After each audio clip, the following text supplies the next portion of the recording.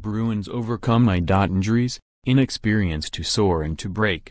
Boston, app. Inexperience and injuries were supposed to keep the Boston Bruins from returning to the upper echelon of the NHL standings. But after taking points in 11 straight games heading into their five-day break, Boston has the second-best record in the Atlantic Division.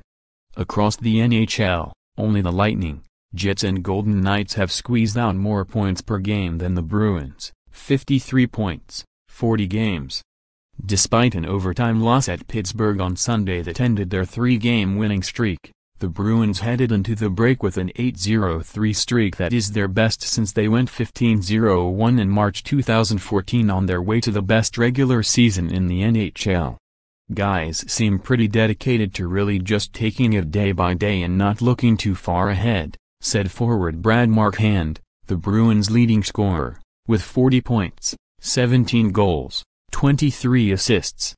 Obviously it's not going to go as well as it is right now all year, but we know that. We want to make sure that each and every game we give ourselves an opportunity to win and that seems to be what we're doing right now. After ending a two-year postseason drought last spring, the Bruins have integrated a handful of rookies into a banged-up lineup. Center David Krejci missed 18 games, Marchand missed 8 and center Patrice Bergeron on missed 5. Forward David Backes came back ahead of schedule following surgery to deal with diverticulitis but still missed 17 games. Yet the Bruins, 23-10-7, rank third in goals against per game, 2.50, and sixth in goals scored per game, 3.23. Much credit goes to goaltenders Tuukka Rask, who has earned points in his past 13 starts, 11-0-2, and Anton Khudobin. Also pitching and on defense are rookies Charlie McAvoy and Matt Grzelczyk, and second-year player Brandon Carlo, half of their defense corps. They're good players. I think that's the easiest way to put it, Coach Bruce Cassidy said. And they've been paired up with the appropriate partners. So put those two together. The team's winning, got good defensive forwards that can make up for some mistakes you make. That's I guess the three reasons. McAvoy has 5 goals and 16 assists and is polishing his Calder Trophy resume by playing the second most minutes on the team, 22-53. He's helped defensive partners Zdeno Chara shut down some of the opposition's best lines while playing 23-20 per game at the age of 40. On offense, the line of Bergeron, 16 goals, Marchand, 17, and David Pastrnak, 17 has again emerged as a trio many consider the best in the NHL.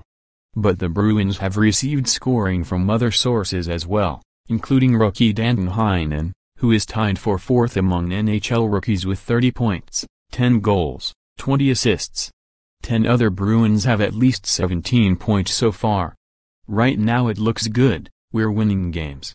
And I don't think we're winning by accident, that's the good news, Cassidy said.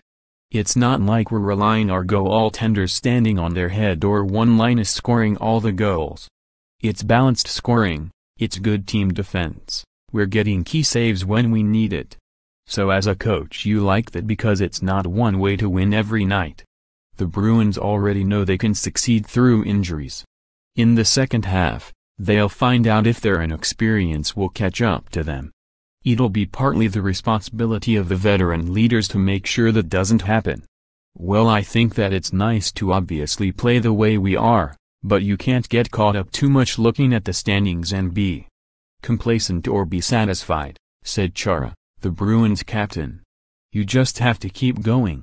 We want to make sure that we avoid these kind of bad habits and continue to thrive on the game that we are playing right now and take a lot of pride in it underscore more app NHL, https colon slash slash apnews.com slash tag slash nhlucky